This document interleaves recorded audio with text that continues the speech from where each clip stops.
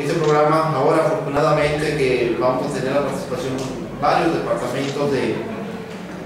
del municipio, del ayuntamiento,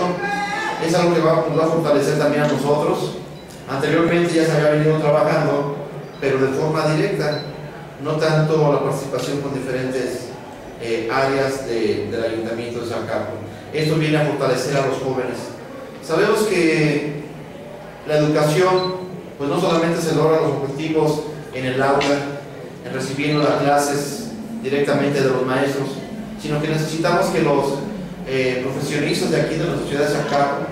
se fortalezcan con la práctica, porque es fundamental para llevar los conocimientos teóricos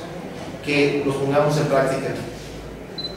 Esa gran oportunidad que tienen los jóvenes de llevar a cabo acciones verdaderas, acciones aparte de la labor social que van a hacer, de la ayuda que van a hacer directamente con la gente más necesitada, más vulnerable de nuestro municipio,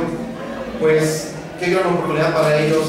eh, que les quede esa satisfacción, es decir, yo te ayudé a arreglar tu aparato, o yo te ayudé a arreglar eh, las instalaciones eléctricas de tu institución educativa, porque quiero decirles que estamos trabajando mucho con ello, las escuelas educativas están eh, unas condiciones muy, muy críticas en todos sentidos, pero entre ellos lo que es el sistema eléctrico de muchas escuelas muy carente, lo cual entonces es algo que a nosotros como ayuntamiento nos pide que, que les ayudemos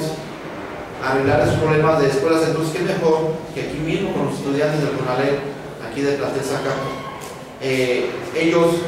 obviamente guiados por un maestro, practiquen y lleven, ¿verdad? Lleven ya la realidad todos sus conocimientos.